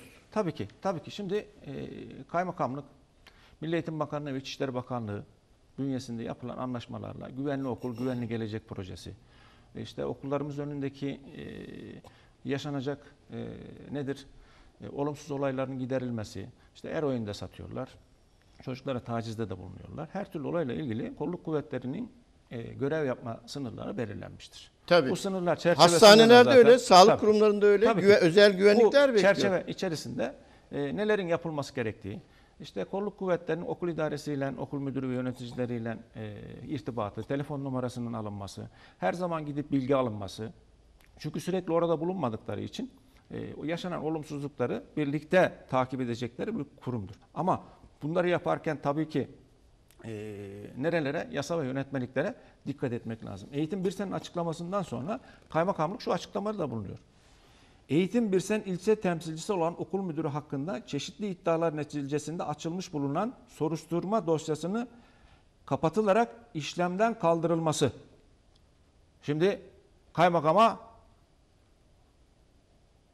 ilçe temsilcisi, Eğitim Birsen ilçe temsilcisi hakkında açılan bir soruşturma var demek ki. Bunun kaldırılmasıyla ilgili Talep girişimde bulunuyor, talepte bulunuyor. Bakanlık müfettişlerince incelenmeme, incelenmesi, incelenmemesi. Ee, Bakanlık müfettişleri var. Okullarımızda şimdi e, idari konularda denetim yapıyorlar. Evet. Hani bunlarla ilgili yapılacak. Şimdi kaçırılan nedir? Niçin bakanlık müfettişlerinin görmesini istemiyorlar ki? Sakıncalı bir durum var? Değil mi? Soruşturma açılabiliyor. Eğer e, haksızsa soruşturma e, kapatılır. Ama haklı talepler üzerine açılmışsa bunu baskı unsuru olarak kullanmak doğru değil. Sendikanın il temsilciliğinden gelen taleplerin kaymakamlığımızca reddedilmesi sonucu. Bu çok e, mühim bir e, konu. Yani bunu Eğitim Birsen bir nolu şube başkanı açıklama getirmesi lazım. Böyle bir talepte kaymakama bulunmuş mudur? İlçe temsilcisi hakkında soruşturmanın kapatılması, bakanlık müfettişlerinin görmemesi konusunda e, Sayın İhsaniye Kaymakamı'ndan bu türlü bir girişimde bulunmuş mudur? Ve eğer bulundu da reddedildiyse kendisini yani şube başkanını ve üyelerini bu konuda korumak için bu 28 Şubat sürecini bahane ederek Sayın Cumhurbaşkanı'nın temsilcisi niteliğindeki olan kaymakamımızı ve ülkemizin güvenliğini koruyan kolluk kuvvetlerimizi zan altında mı bırakmak istemektedir? Bu yapılması gereken bu uygulama nedir? Bunlar net bir şekilde ortaya konması gerekmektedir. Kaymakam yine açıklamasında şunu söylüyor. Kamu kurum ve kuruluşlarında çalışan personelin kılık kıyafetine dair e, yönetmelik hükümlerine aykırı hiçbir işlem yapılmamış. Hiçbir kuruma da yazılı ya da sözlü e, bir talimat verilmemiştir diyor. E şimdi onlar da diyorlar ki ne diyorlar açıklamalarında en son söylediğim gibi başçavuş hangi eğitim e, gitmiş işte bunları söylemiş. E şimdi başçavuşun hangi eğitim çalışanına, kime, kimlere bu konuyla ilgili kaymakamın e, nedir e, emriyle geldiğini ifade etmiştir. Bunları da e, Eğitim Birsen e, Şube Başkanı'nın açık bir şekilde ifade etmesi gerekmektedir. Şimdi e, kaymakam diyor ki itibar suikastı yapılıyor. İtibar suikastının yapılıp yapılmadığını bu neticede Eğitim Birsen Şube Başkanı e, açıklaması yapması lazım. Şimdi İhsaniye'deki Eğitim Birsen temsilcisiyle ilgili daha önceki dönemlerde de bizim sıkıntılarımız oldu. E şimdi ben Evet. size söyleyelim. Bu 2014 yılındaki okul müdürleri yönetmelik değişikliğiyle görevden alındı ya mülakat sonucunda. O mülakat sonucunda İhsaniye'deki e, bulunan ilçe milli eğitim müdürüyle arasında e, yönetici değerlendirme konusunda sıkıntılar yanaşandı. Yani şimdiki teklifi o gün ilçe temsilcisi ilçe milli eğitim müdürüne yaptı. İlçe milli eğitim müdürüne tehdit, fiili saldırıda bulunduğu gerekçesiyle e, o dönemin ilçe milli eğitim müdürü suç duyurusunda bulundu. Suç duyurusu neticesinde haklı bulundu. İlçe temsilcisi e, Sinan Paşa Çiğiltepe e, Lisesi'ne görev değişikliğiyle gönderildi. Yani halk tabiriyle sürgün edildi. Ve e, ilçe milli eğitim müdürü hakkında da onlar doğal olarak suç duyurusunda bulundular. Yani yaptıkları ifade de şöyleydi dilekçelerinde o zamanki e, basın açıklamamda e, burada 2014 yılı 23-12-2014'te yapmışım. Göstermelik kaymakamlık olur. Şimdi devletin kurumları göstermelik olur mu olur? Çıkan devletin resmi e, belgesidir. Yine kaynağı belirsiz masraflar gibi. E şimdi bunları yaparak e, suç duyurusunda bulunmuş ama bir şey elde edilmemiştir. Yine 2015 yılında da e, ilçe temsilcisi Sinan Paşa'dayken düşünün şimdi her gün Sinan Paşa'dan ikametgah orada değil. Sinan Paşa'dan kalkıyor şeye e, İhsaniye'den yola çıkıyor Sinan Paşa'ya geliyor. Saat kaçta gelecek? Kaçta görevini bitirecek? Kaçta dönecektir? Şimdi ben buradan yetkililere bir daha soruyorum. Hem o dönem görev yapan Sinan Paşa Kaymakamı ve o dönem görev yapan ilçe milli eğitim müdürü, şube müdürlerine ve yetkililere, il milli eğitim müdürüne de bununla ilgili neler yapılmıştır? O zaman da takibatını yaptık. Dilekçe yazdım verdim. Hiçbir sonuç elde edilmedi. Yine 2015 yılında sürgünden gidenlerin 3 yıl bulunduğu ilçeye gelemez. İlçe içinde ise bulunduğu, e, görev yaptığı okula 3 yıl içinde gelemez. İl içinde ise aynı ilçeye gelemez. İl dışı ise e, görev yaptığı ile gelemez. Ama yönetmelik e, şeyde o dönemdeki e, idareci atamalığında e, ilçe temsilcisinin Sinan Paşa'ya meslek lisesine müdür olarak tayini yapılmıştı. Basın açıklaması yaptık ve durdurduk. Süresi geçtikten sonra İhsaniye'ye gitti. İlçe temsilcimiz orada ilçe milli eğitim müdürlüğünden özel büroda görev verildi. Daha sonra da şimdi e, İhsaniye'de bir okulda görev yapmaktadır. Son bir dakikamız hocam. Onu söyleyeyim ben E, size. görev yapmaktadır. Bunlar da yaşanmaktadır ki e, bu özellik nedir? Bu koruma nedir? Bu koruma kalkanı nedir? Artık devletimizindeki devlet memurlarının bu koruma e, kalkanı elbette olmalıdır. Ama bir sendika bunlara müdahale etmemelidir. E, ben şunları ifade etmek isterim. Kaymakamlığın açıklamasından sonra gerekli hukuki işlemler başlatılmalıdır. İlimizin valisi buna el atmalıdır. Savcılar göreve e, davet edilerek bu konuyla ilgili gerekli yasal çalışmalar yapılmalıdır. Başka Evet. sormak istediğiniz bir şey Programımızın varsa. da sonuna geldik hocam. Bitirdik Aslında mi? Maalesef e, reklama girmemiz gerekiyor. Ee, konuşacağımız çok konu vardı. Şimdi tabii ki yani bu itibar suikastı konusunda e, bizim de bir sürü yaşadığımız olaylar oldu. İşte nedir? Hukuk kurallarıyla hakkınızı elde edersiniz. Almadık mı işte Halk Eğitim Merkezi Müdürlüğü Ahmet Akın Bey e, birinci sıradayken 82. sıradaki e, e, kişi e, görevlendirmesine devam ettirildi. Yargıya gittik, haklı olduğumuz ortaya çıktı. Şimdi de görevine başladı. Eğer yapılan uygulamalar haklı olduğunu inanıyorlarsa yargıya taşırlar. Yargı sürecinde de suçlu olan cezasını bulur. Ama bu konular önemli konulardır. E, ben Sayın Valimizin, savcıların bu konuyla ilgili e, harekete geçmesini, yapmasını e, istiyoruz ve konunun da takipçisi olacağız. Evet, biz de Teşekkür ederim. katılımınızdan dolayı teşekkür, Teşekkür ederim. ediyorum. Ayaklarınıza sağlık Sağ efendim. Evet, e, hemen kısa bir reklam arası. Reklamlardan sonra devam edeceğiz efendim. Ahmet İpek'in sunduğu Kanal 3'te sabah programı devam edecek. Ahmet İpek'in sunduğu Kanal 3'te sabah programı devam ediyor.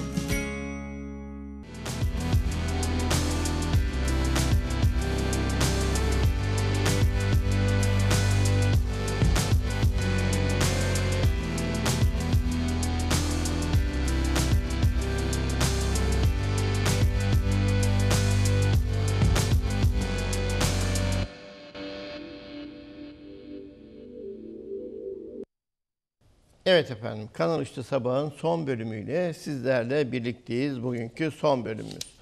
Ee, gazetelerimize bakalım. Ee, hepsine bakma şansımız olmayacak e, konuklarımızın e, aldığı süre nedeniyle. Ee, Odak gazetemiz sür manşetinde İstiklal Marşı'nın bugün 99. yılıydı. Kabulünün 99. yılıydı. 12 Mart e, 1921 tarihinde e, Mehmet Akif Ersoy ve aziz şehitlerimizi rahmetle anıyoruz diye e, ifade kullanmış Odak gazetesi. Evet, sürmanşetteki bir başka haber dev işbirliği. Afyon Kocatepe Üniversitesi ile e, Vestel Beyaz Eşya Anonim Şirket arasında ithal ürünlerin yerleştirilmesine yönelik işbirliği protokolü imzalanmış efendim. Evet, Afyonkarahisar Belediyesi koronavirüsle ilgili önlemlerini aldı, almaya devam ediyor. Ee, toplu taşım araçları dezenfekte ediliyor sık sık efendim. Bununla ilgili bir haber var. Evet, Odak'ın, e, Odak gazetesinin özel bir haberi var. Ahmet Işık imzalı. Hazirana yetişecek. Emniyet Genel Müdürlüğü Trafik Eğitim ve Araştırma Daire Başkanı iken şehrimize İl Emniyet Müdürü olarak atanan Ali Temiz yoğun tempoda çalışmalarını sürdürüyor. Yapımı yılan hikayesine dönen yeni Emniyet Müdürlüğü binası Haziran ayında hizmete açılacakmış. Evet e, bununla ilgili e, açıklamalar var. Gereken ödenek tamam. 33 milyon 600 bin TL'ye ihale edilen İl Emniyet Müdürlüğü Hizmet Binası inşaatı 23 bin 500 metrekare alan üzerinde 11 bloktan oluşuyor. Geçen yıl içerisinde teslim edilmesi planlanan binayı yapan firma işi yarım bırakmış ve teslim gerçekleşmemişti. Ankara'da genel müdürlükte sağlam bağlantılar olan İl Emniyet Müdürü Ali Temiz bina için gerekli ödenekleri çıkarttı ve binada çalışmalar hızlandı. Herhangi bir sıkıntı yaşanmaz ise yeni binaya Haziran ayı içerisinde geçirecek. Tefrişat konusunda da herhangi bir sıkıntı bulunmuyor ifadelerini kullanmış Ahmet Işık özel haberinde. Evet, e, gazetedeki başka haberler, daha doğrusu birinci sayfadaki göze çarpan haberler. Kadınlar boş durmuyor. Afyon Ticaret Sanayi Odası bünyesinde faaliyetlerini sürdüren Türkiye Odalar Borsalar Birliği Afyonkarahisar Kadın Girişimciler Kurulu Sandıklı'da bir dizi ziyarette bulunmuşlar. Efendim Başkan Çöl, Özer ve Toptaş'ı ziyaret etmişler. Evet, e, manşetin sağında ise güncel konuları anlattı. Afyon Kocatepe Üniversitesi Hukuk Fakültesi Ombudsmanlık Topluluğu tarafından hukukta kariyer günleri düzenlenmiş bu kapsamda e, bir konferans verilmiş efendim. Evet, hemzemin geçit yapılacak. Sandıklı ilçemize yapılacak olan hemzemin geçitin haberi e, onun altında eğitim için toplandılar. İkinci sayfada olan bir haber. Cumhuriyet Halk Partisi Afyonkarahisar Milletvekili Burcu Köksal'ın İstiklal Marşımızın ülkemizin birleştirici unsurlarının başından geldiğini, başında geldiğini söylemiş efendim. Duyguların sembolüdür demiş kendisi ifadesinde. Deprem tatbikatı yapıldı Şuhut ilçesinde. 1-7 e, Mart deprem haftası dolayısıyla Kurtuluş e, Küçük Aslan İlkokulu'nda e, pardon Kurtuluş İhsan Küçük Aslan Ortaokulu bahçesinde deprem ve yangın tatbikatı yapılmış. Evet rakiplerimiz belli oldu. Afyon Belediye Yuntaş yarın Ankara'ya gidecek ve antrenmanlarına burada devam edecekmiş. Turnuvada buluşturduğu tecrübelerini anlattı. Bunlar da Odak Gazetesi'nin diğer haberleri efendim. Evet şimdi Afyonkarahisar Belediye Başkanlığı dünyayı saran koronavirüse karşı halk otobüslerini dezenfekte işlemi yapıyor. Bu haberimizi bir kez de görüntülü olarak izleyelim efendim.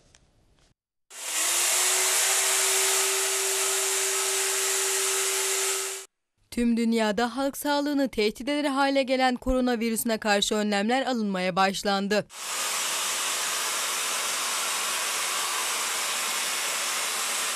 Afyonkarahisar Belediyesi toplu ulaşımda kullanılan halk otobüslerinde ilaçlama yaptı.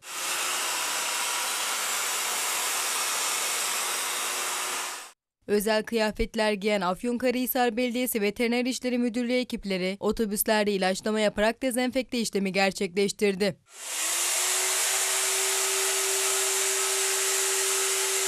İlaçlama çalışmalarının periyodik olarak devam edeceğini belirten Veteriner İşleri Müdürü İsmail Atlı şunları kaydetti. Dünyayı e, sarsan koronavirüs salgınına yönelik e, bu akşamdan itibaren ilk uygulamamızı Makinikmal ve Ulaşım Hizmetleri Müdürlüğü ile işbirliği halinde Veteriner İşleri Müdürlüğü ekipleriyle beraber e, 41 adet belediyemizin halk otobüslerinde e, dezenfeksiyon çalışmalarını bugün itibariyle başlatacağız.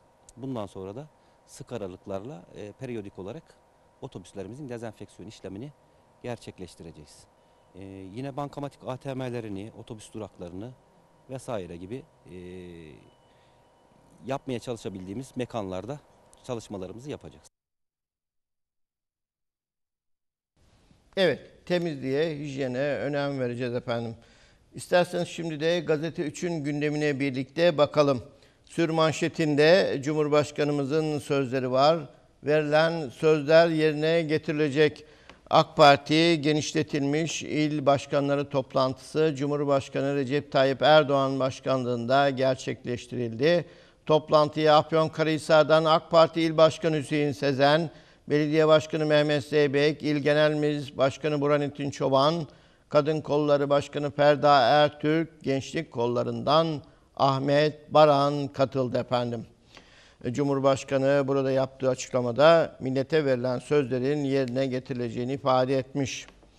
Kurtuluş Savaşı'nın manifestosu Afyonkarahisar protokolü İstiklal Marşı'nın kabulünün 99. yılı nedeniyle mesajlar yayınladılar. Başta valimiz Mustafa Tutulmaz olmak üzere milletvekillerimiz, belediye başkanımız, il genel meclis başkanımız, rektörlerimiz, akı rektörümüz ve apsü rektörümüz e, birer mesaj yayınladılar.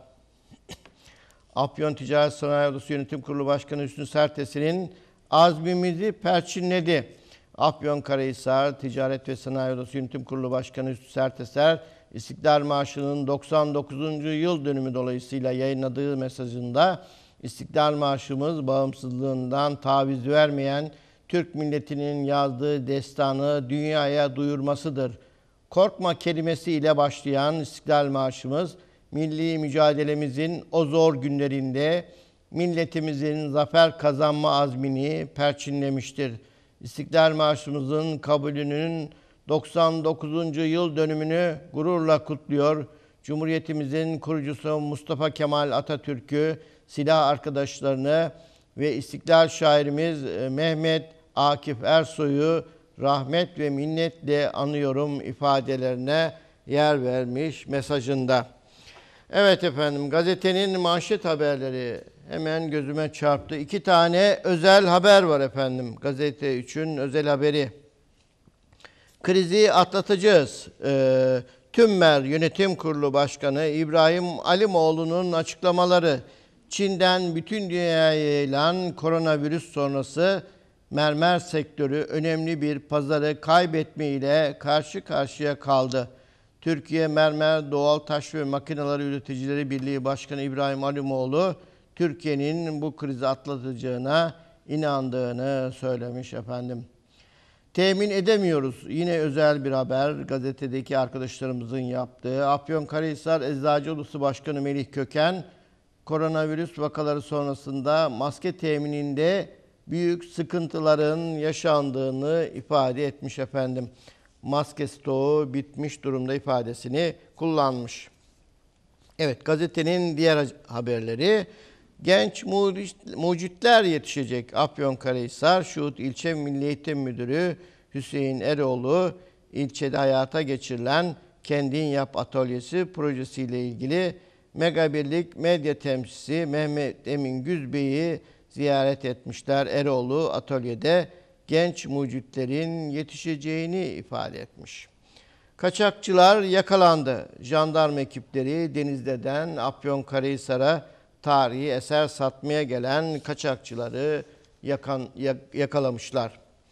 Afyon Eğitim Vakfı çok önemli bir vakıf. Vali Mustafa Tutulmaz'ın eşi Fatma Tutulmaz, Afyon Eğitim Vakfı'nın gençlerin eğitim hayatına katkı sağlayan önemli bir vakıf olduğunu ifade etmiş. Evet, e, rakiplerimiz belli oldu. Erkekler voleybol birinci ligi yarı final karşılaşmalarıyla ilgili Milas Belediyespor, Bingöl Solhan Spor ve Niksar Belediyespor e, bizim grubumuza düşen rakiplerimiz olmuş. Takımımız yarın Ankara'ya giderek antrenmanlarına burada devam edecekmiş. Evet bir hırsızlık olayı. Çalınan kalaslar bulundu. Gazlı Göl'de Kızılay Maden Suyu Fabrikası'na ait e, kalaslar çalınmış. Jandarma ekipleri yaptıkları takipte Ablak Köyü yolunda durdurdukları bir römorkta traktör römorkunda çalınan malzemeleri bulmuşlar. Olayla ilgili iki kişi gözaltına alınırken e, kalaslar Kızılay İçecek Anonim Şirketi'ne teslim edilmiş.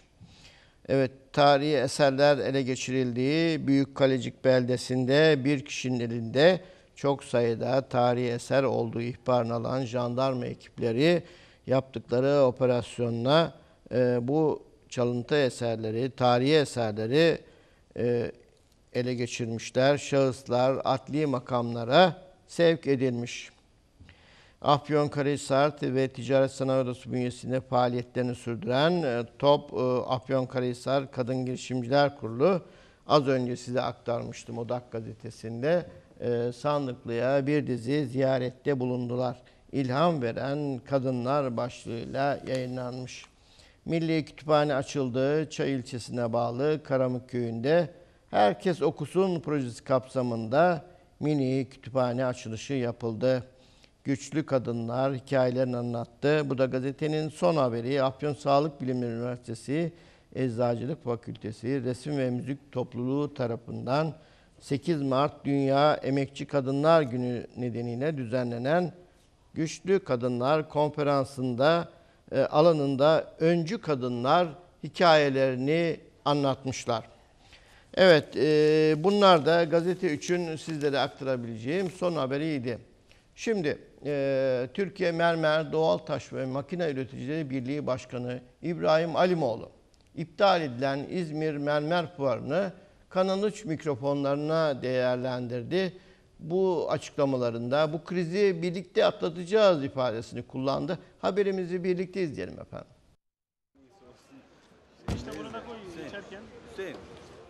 İzmir Mörbül Doğal Taş ve Teknolojileri Fuarı 1-4 Nisan 2020 tarihlerinde 26. kez dünyanın dört bir tarafından ziyaretçilerini ağırlamaya hazırlanırken dünyayı etkisi altına alan koronavirüs dolayısıyla iptal edildi.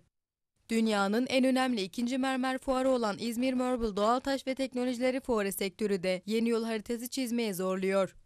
Mermercilikte 100 yıla yakından faaliyet gösteren Alimoğlu Mermer'in sahibi ve Türkiye Mermer Doğal Taş ve Makineleri Üreticileri Birliği Başkanı İbrahim Alimoğlu, sektörün içine girdiği çıkmazı Kanal 3'e anlattı. Türkiye'de veya dünyada diyelim ilk üçe giren tek uluslararası Marble fuarımız İzmir'de her sene düzenlenmekteydi. Bu sene de Nisan ayında düzenlenecekti. Bu her sene Mart ayında Çin'de yapılan fuarın akabinde yapılırdı. Çin'deki fuarın ertelenmesinin ardından İzmir fuarının ne olacağı ile ilgili sektör temsilcileriyle bir araya geldiklerini aktaran Alimoğlu, bakanlıklarla görüşerek ertelemeye karar alındığını hatırlattı. Hazirana ertelenen Çin fuarından sonra İzmir Marble Doğal Taş ve Teknolojileri Fuarı'nın yapılması ihtimalinin olduğunu dile getiren Başkan Alimoğlu şöyle devam etti. Sektör bundan ne kadar etkilenecek bilemiyoruz. Çünkü bizim ülkemizin mermer ihracatının üçte birini Çin ham madde olarak karşılar. 1 milyar dolar bir ihracatımız vardır. Bunun tamamı bloktur. Çin'den başka bizden blok alan bir tek Hindistan var. Onun aldığı ürün daha azdır. Çin bizim için blok pazarı olarak çok büyük bir pazar. En büyük ve en önemli blok mermer pazarının kaybedilmiş görünmesine rağmen çıkış yolu olduğunu belirten Alimoğlu işlenmiş mermeri önerdi. Biz işlenmiş ürüne yöneleceğiz. İşlenmiş ürün de Amerika ve Avrupa alıyor. İnşallah bunu değerlendiren bir sektör olma yolundayız. Çalışmalarımız bu yönde. Yeni pazarlar aramak durumundayız. Yeni pazarlarda hem sektör gelişir hem işlenmiş üründen istihdama da katkı sağlarız. Biz ne krizler atlattık ne hastalıklar atlattık diyen Alimoğlu sözlerine umutlu olduklarını belirterek sonlandırdı. Ben inanıyorum ki bu ülkemizin ka- kalkınması madenden olacaktır. Hepimiz aynı ülkenin içinde yaşıyoruz. Dünya ne getirecek hiçbirimiz bilmiyoruz. Ama bizler bu kadar yatırım yaptık. E, bu yatırımları önümüzü gördüğümüz için yaptık. E, biz çok krizleri atlattık. Çok hastalıkları atlattık. İnşallah bunu da atlatırız. Yani umudumuz var. Umudumuzu hiçbir zaman kaybetmedik. Allah bu ülkeyi seviyor. Ee, bize yardımcı da oluyor. Evet efendim süremizin sonuna yaklaşıyoruz. Diğer gazeteleri çok fazla ayrıntılı anlatmaya süremiz kalmadı ama ben e, farklı haberleri hemen sizlere aktarayım. E, Kocatepe gazetesinde fırtınanın devirdiği ağaç yeniden yerine dikilmiş. Anıt Park'ta olmuştu olay. İyi Parti heyeti Kocatepe gazetesini ziyaret etmişler.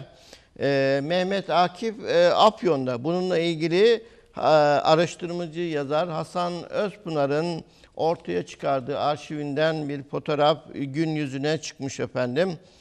İstiklal Marşı'nı ahşaba Arapça yazmış. Kim yazmış? Ee, kıl testleri ve çentik oyma ustası Ahmet Emin Çetin yazmış efendim. Ee, Genel Müdür Uygun Afyon'a geliyor. Türkiye Cumhuriyeti Devlet Demiryolları Genel Müdürü Ali İhsan Uygun e, Afyon'a gelecekmiş efendim. Cuma günü ilimizde olacakmış. Bununla ilgili bir haber var. E, Kurtoğlu'nda bir bölüm var. Burada e, korona denen illet ne yazık ki ülkemize girdi. Ülke genelinde olduğu gibi Afyon'da endişe hakim. Devlet Hastanesi'nde Fransa'dan dönen sandıklı bir vatandaşın ailesiyle birlikte karantinada olduğu söyleniyor demiş. Evet e, böyle bir olay vardı ama bu hastamızın sonuçları negatif çıktı. Yani tehlike yok. E, resmi makamlar bunu yalanlıyor demiş. Dedikodulara bakarsanız karantinadaki hasta sayısı fazla demiş. Bu durumda insanların kafası karışıyor demiş. Her şey açık saçık olsun ki millet ne edip ne işleyeceğini bilsin. Gizliye saklıya gerek yok. Evet gizli saklı bir şey olduğunu da düşünmüyorum. Zaten e, Sağlık Bakanı olsun, illerdeki sağlık müdürleri olsun gereken açıklamaları yapıyorlar. Dün Sağlık İl Müdürümüz, e, Afyon Sağlık İl Müdürümüz de Kanal 3 mikrofonlarında burada herhangi bir e, vakanın tespit edilmediğini, e, evet başvuranlar oluyor bu şüpheyle ilgili. Fakat şimdiye kadar başvuran hastaların sonuçları negatif çıktı. E, tehlike yok. E, yapacağımız tek şey e, özellikle yaşlı kimselerin çok fazla toplu yerlere girmemeleri, temizlik, temizlik, temizlik. Uymamız gereken o. Nasıl eşlerimiz evlerini en itinalı bir şekilde temizliyorlarsa bizler de kendi birey olarak e, çocuklarımızın e, ve biz erkekler e, bu konuda temizliğe özel önem göstermeliyiz efendim. Sadece kolonyayla bu iş olmaz. Bu işin günlük temizliğinin rutin olarak yapılması zaten sorunu çözecek efendim. Evet, e, 12 Mart 1921 İstiklal Marşımız e, Yüce Milletimiz tarafından kabul oldu. Evet programımızı İstiklal Marşımızla açmıştık. İsterseniz e, bugünkü programımızda İstiklal Marşımızı birlikte söyleyerek kapatalım efendim. Yarın sabah 9'da birlikte olana dek kendinize, sağlığınıza iyi bakın efendim.